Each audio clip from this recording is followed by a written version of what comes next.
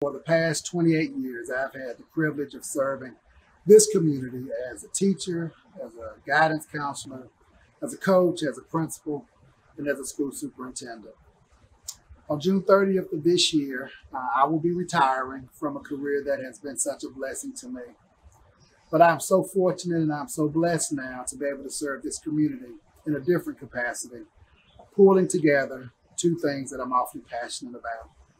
One will be education, and the other will be working towards a more inclusive community. As a lifelong resident of Spartanburg, I, I wholly believe in our goal of having one Spartanburg. I had the good privilege of serving on the board of the Spartanburg Academic Movement for many years now. And most recently, I've been proud to represent our community on the National Strive Together Board of Directors. Now, it is our belief that with SAM and Strive Together, that economic mobility must be grounded in educational attainment.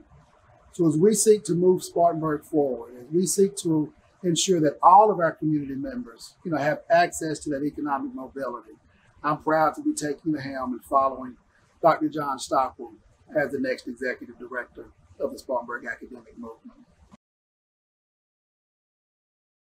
So I know there may be those wondering how in the world are you going to manage this work between the Spartanburg Academic Movement and the Chamber of Commerce? Well, it's simple. This work goes together. Now, many of you may not know that the earliest beginnings of the Spartanburg Academic Movement were born through the efforts of the Spartanburg Area Chamber of Commerce. So here we are now, we've come full circle.